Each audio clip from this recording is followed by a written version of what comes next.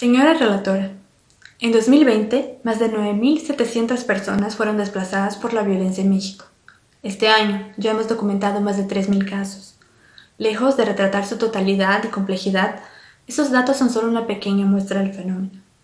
Hoy, aprovechemos esta oportunidad para destacar casos que reflejan la dura realidad del desplazamiento interno en México, que necesita atención urgente. El municipio de Aldama, en el estado de Chiapas, se encuentra bajo constantes ataques armados. Esto ha obligado a la población a desplazarse de manera intermitente, refugiándose en las montañas para proteger sus vidas. Desde 2018, decenas de personas han muerto y resultado heridas a causa de este conflicto agrario. También en Chiapas, en mayo, seis familias de Chenaló retornaron a su comunidad tras casi dos años de estar desplazadas, pero ya no estaban completas. Dos niñas menores de un año fallecieron, en consecuencia de las condiciones precarias en las que vivían por el desplazamiento. La situación de la niñez es alarmante.